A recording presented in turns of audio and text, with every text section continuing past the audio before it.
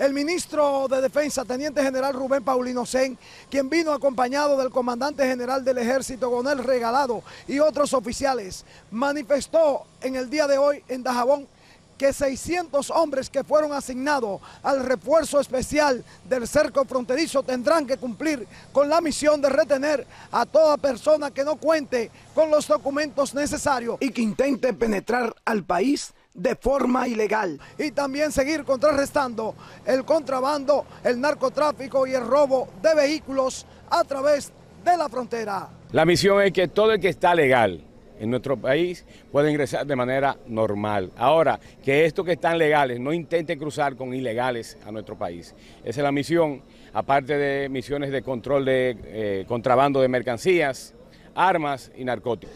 Sí, precisamente esa es la, la intención del alto mando una disposición, señor presidente, de que prácticamente respetemos lo que son los derechos humanos de cada uno de los ciudadanos que tratan de, emigrar para nuestro país. Usted sabe que hay muchos de ellos que tienen sus documentos, lo que hay que respetar esos derechos.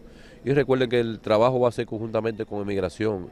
El ministro de Defensa y el comandante general del ejército supervisaron los trabajos que se vienen realizando en toda el área fronteriza. Incluso mostraron los drones y los helicópteros que estarán de apoyo juntos con los vehículos asignados a las tropas. En Dajabón César Montesinos, Noticias SN.